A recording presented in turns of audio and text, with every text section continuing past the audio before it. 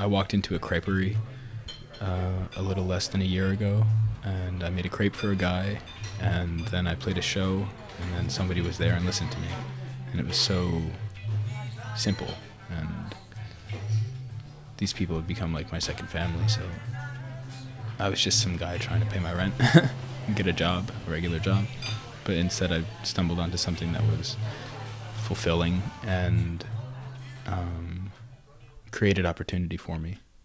I graduated high school and I decided like I definitely want to do music. I want to be a singer and a songwriter.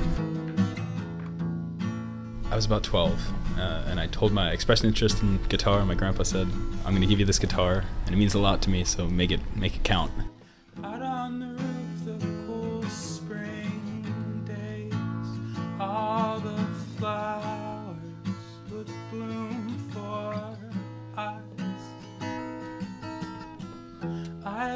You're happier.